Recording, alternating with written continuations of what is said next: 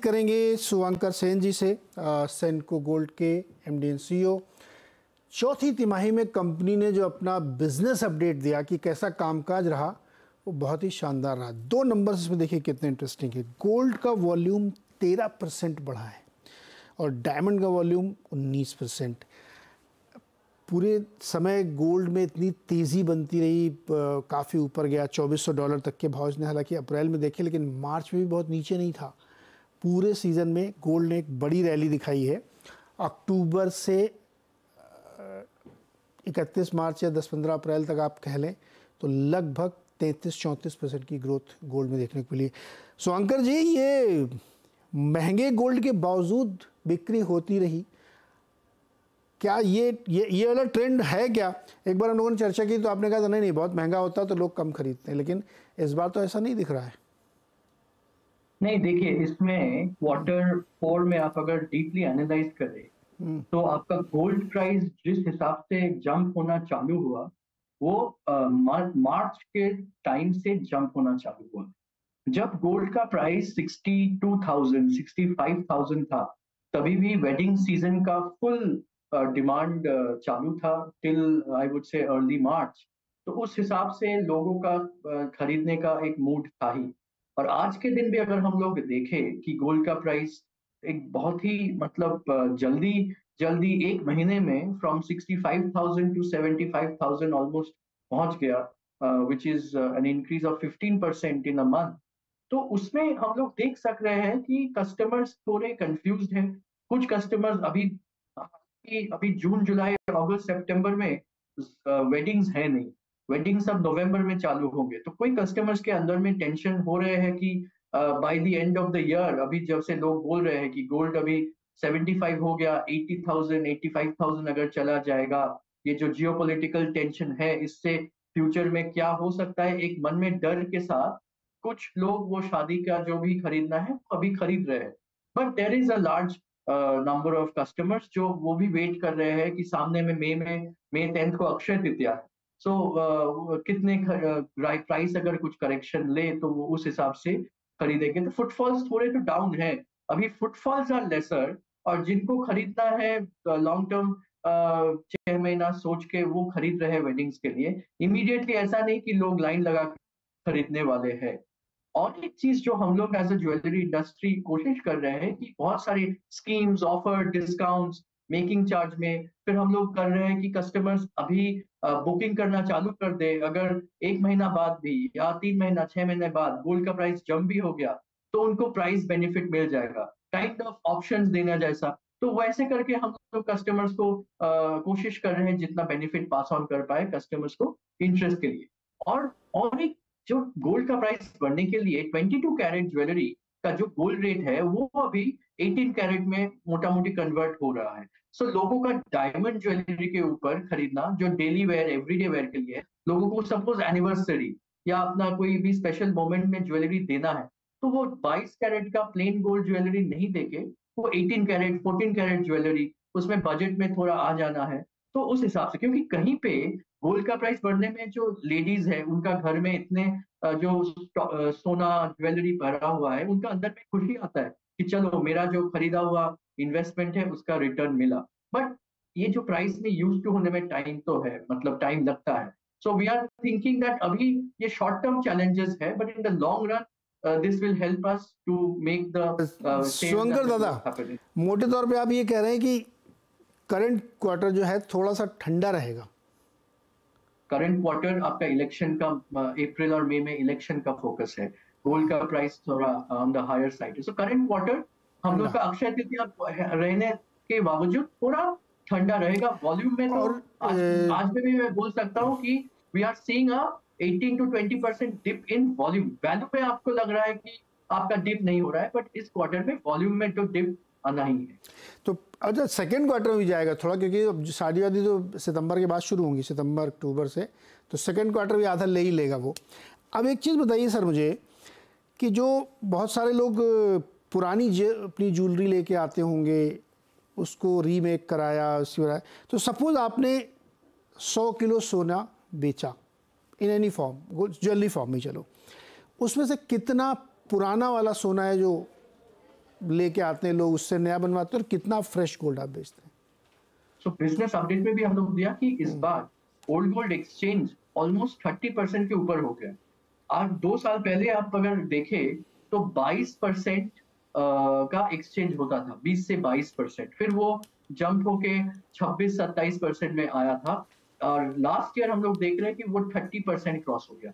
तो इसके कारण कस्टमर्स का क्या होता है कि कैश आउटफ्लो जितना होना है होना है बट उनका घर का जो पुराना ज्वेलरी है हॉलमार्किंग अभी चालू हो जाने से एच यू कंपल्सरी हो जाने से, बहुत कस्टमर्स ऐसे भी थे कि वो उनका non H U non hallmark jewellery चाह रहा था कि कोई अच्छा ब्रांड से भी और हम लोग देखें कि हम लोग का जो ओल्ड गोल्ड एक्सचेंज भी हुआ है, उसमें से 50 टू 60 परसेंट नॉन अपना ओल्ड कस्टमर्स जो है मतलब नया कस्टमर्स दूसरा तरह का सोना अपना घर से ले आके एक्सचेंज करके लिया तो दीज आर द सिग्नल्स जो हम लोग बोलते हैं कि अनऑर्गेनाइज सेक्टर से ऑर्गेनाइज सेक्टर में जो कस्टमर शिफ्ट हो रहा है दीज आर स्मॉल स्मॉल तो सुंकर दादा आप ये कह रहे हो कि पुराना गोल्ड लोग बदल रहे हैं ये 29 से बढ़ के बत्तीस परसेंट हो गया है तो ये थोड़ी चिंता कि नया गोल्ड नहीं लेके आ रहे हैं लेकिन जब इसको ब्रेक डाउन करते हैं तो उसमें ये पता चलता है कि जो नॉन सेंको वाले हैं यानी अनऑर्गेनाइज किसी लोकल ज्वेलर से ले लिया उसको वो अपग्रेड कर रहे हैं plus hallmark and U H D I वाले मार्किंग के साथ। आप ये कह रहे हैं सर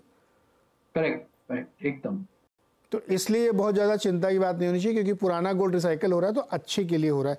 अब आप मुझे ये बताइए कि आपने अपने अपडेट में भी दिया है कि आपने बहुत सारी दुकानें खोली हैं इस क्वार्टर के भी दौरान और पूरे साल का। तो टारगेट अचीव हो गया आपका पूरा? टारगेट अचीव हो गया मतलब आ, आ, साल का टारगेट हाँ साल वाला। साल का टारगेट तो अचीव हो तो गया। अभी इस क्वार्टर में कितनी खोले और इस साल? अब तो शुरू कर दिया होगा आपने। हाँ अभी इस इस क्वार्टर में हम लोग का पाइपलाइन में और भी तीन चार शोरूम पाइपलाइन में है। सो so, एक चीज़ है कि ये साल का भी जैसे भी टारगेट हुआ अभी हम लोग का मई में रिजल्ट्स डिक्लेयर होंगे तो मैं ज़्यादा कुछ बोलना नहीं चाहूँगा इसमें। पर ये तो फैक्ट है कि हम लोग का जिस हिसाब से लास्ट तीन चार साल में हम लोग हर एक साल शोरूम खोलते गए हम लोग का कंपनी और कंपनी ऑपरेटेड स्टोर हुआ और फ्रेंचाइजीज जितना हुआ स्मॉलर टाउन्स के लिए तो उस हिसाब से हम लोग इस साल टारगेट रखे। गोल्ड प्राइस बढ़ने के लिए थोड़ा अपने को टाइम का डिले देखना पड़ेगा कि कैसे किस टाइम पे खोलना चाहिए बट टारगेट जो है वो तो सेट है। दादा, ये भी कंपटीशन है कि थोड़ा सा मार्जिन हिट लें, दाम कम करें, जिससे ज़्यादा बेच सकें। ऐसा भी कर रहे हैं आप लोग क्या? हाँ डिस्काउंट्स तो दे ही रहे हैं मेकिंग चार्ज में गोल्ड रेट में। ऑलमोस्ट आपका 20 परसेंट पच्चीस परसेंट मेकिंग चार्ज में डिस्काउंट हो रहा है।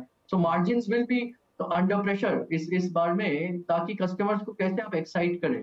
तो गोल्ड हम्म। रेट में डिस्काउंट या मेकिंग चार्ज में डिस्काउंट और अभी हालाँकि अभी तो इलेक्शन का माहौल है हम लोग फ्रॉम द इंडस्ट्री गवर्नमेंट को ये भी रिक्वेस्ट करने वाले हैं कि यू नो की ड्यूटी जो है अगर गोल्ड का प्राइस इस लेवल में स्टेबलाइज हो जाए तो गवर्नमेंट को थोड़ा सोचना चाहिए अगर ड्यूटी भी कम करे।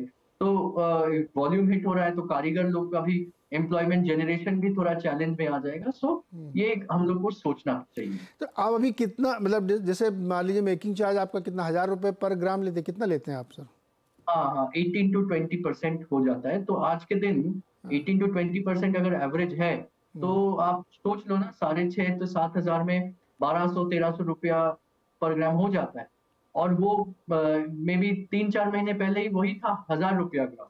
तो इसके लिए वो हज़ार रुपया ग्राम करने के यू नो कोशिश में 25 परसेंट बीस परसेंट मेकिंग चार्ज में डिस्काउंट देना पड़ा तो मेकिंग चार्ज में डिस्काउंट प्लस गोल्ड में भी थोड़ा डिस्काउंट हाँ गोल्ड में भी डिस्काउंट देना पड़ रहा है क्योंकि इतना इतना वॉलेटाइल मार्केट है। हाँ. सच बताए कंज्यूमर ये तो बिज़नेस तो चलता रहेगा मगर कंज्यूमर ग्राहक जो है उनके लिए ये अनसर्टनिटी में एज अ ब्रांड हम लोग क्या कर पाए? तो कस्टमर को जितना बेनिफिट पास ऑन कर सकते हैं, वो कर रहे हैं। अच्छा गोल्ड प्राइसिंग चूँकि इतने ऊपर पहुँच गई है और इसको आप लोग हेज कैसे करते हैं, मुझे ये बताइए। प्लस जैसे मान लीजिए अभी बहत्तर चौहत्तर हज़ार है और कोई कह रहा है कि अस्सी हो जाएगा, पचासी हो जाएगा, कोई कह रहा है लाख हो जाएगा। आपका अपना भी असेसमेंट होगा जो ज़्यादा रियलिस्टिक होगा, क्योंकि आप इस धंधे में सैकड़ों साल से हैं। तो हेज कैसे करते हैं? आपको लगता है कि नहीं सब फालतू बातें चल रही है अभी गिर के साठ हज़ार आ जाएगा बेमतलब में स्टॉकिंग करने की ज़रूरत नहीं है। ऐसा है या आपको लगता है कि नहीं एक लाख हो जाएगा धनतेरस के दिन तो अभी से बुक करके रखो। क्या करते हैं आप? नहीं देखिए हम लोग का हेजिंग दो तरीके से होते हैं। एक है कि आपका गोल्ड मेटल लोन जो बैंक से लेते हैं हाँ। उसको हम लोग अनफिक्स में लेते हैं। अनफिक्स में मतलब वो प्राइस फिक्स नहीं रहता है। जैसे जैसे on a daily weekly basis हम लोग गोल्ड को कस्टमर को बेचते हैं उसके साथ बैक टू बैक हम लोग बैंक में रेट फिक्स कर देते हैं। सो so, वो है एक मेथड ऑफ़ हेजिंग और दूसरा मेथड ऑफ़ हेजिंग है कि हम लोग आपका एक्सचेंज में एमसीएक्स हुआ एनएससी हुआ उसमें हम लोग फ्यूचर्स में सेल सेल पोजीशन लेते हैं या ऑप्शंस में कॉल सेल या पुट बाय कर लेते हैं। इस हिसाब से जो भी इन्वेंट्री है वो आपका हेज रहता है। और अगर उस हिसाब से देखें कि गोल्ड का प्राइस आप लॉन्ग टर्म में देखो तो लॉन्ग टर्म में gold is always on upward trend short term में, एक साल में या छह महीने में आप देखोगे तो अप डाउन अप डाउन होता रहेगा। बट लॉन्ग टर्म में, देखिए 2020 में एक बहुत बड़ा जंप लिया। उसके पहले 2012-13 में एक जंप लिया 2007-8 में जंप लिया। सो लॉन्ग टर्म में gold will always be on the upside आज अगर पचहत्तर हज़ार हो गया, कल अगर अस्सी, पचासी हो, आज कोई सरप्राइज़ नहीं होंगे। But at the same time पचहत्तर हो गया तो शॉर्ट टर्म के लिए वो सत्तर जा ही सकता है। But in the long run gold will always be on the upside चलिए एक लास्ट क्वेश्चन बहुत छोटा जवाब चाहिए। धनतेरस में क्या भाव देखते हैं आप सोने का? धनतेरस में भाव अगर आप सच बताएँ हम्म। तो मैं तो सत्तर से पचहत्तर के बीच में ही देख रहा हूँ। करंट प्राइस के आसपास ही रहेगा। करंट प्राइस के आसपास ही ओके शंकर सर बहुत बहुत शुक्रिया हमारे साथ जुड़ने के लिए और ये चीज़ बताने के लिए। बड़ी ईमानदारी से आपने बताया कि इस समय थोड़ा सा प्रेशर है क्योंकि गोल्ड बहुत महँगा हो गया, वरना ज़्यादातर जूलर तो कहते नहीं नहीं, कोई दिक्कत नहीं, लाइन लगी हुई है खरीदने वालों की। But this is the honest opinion thank you so much sir thank you so much thank you